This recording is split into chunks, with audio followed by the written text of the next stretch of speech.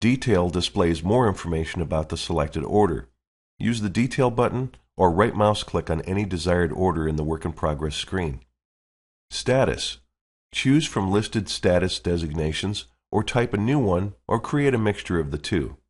Location. Choose from listed shop locations, type a new one, or mix them together. Hat number is used for the hat or paper tag number used per order.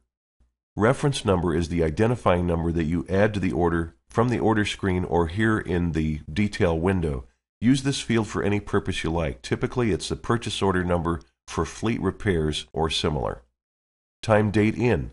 Converting an estimate to an RO populates this field automatically. Promise time and date. When the work is promised to be finished, and this is a default setting. Completion time and date. Marking the invoice as printed populates this field automatically. Schedule start and schedule end. This is the time and date that work is currently scheduled to occur in the shop's calendar.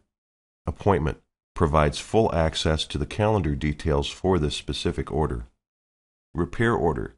The printed box is checked if the RO has been printed. Invoice printed box is checked if the invoice has already been printed. Print Tech Worksheet is a shortcut to Print a Tech Worksheet from here, saving you a trip to order options.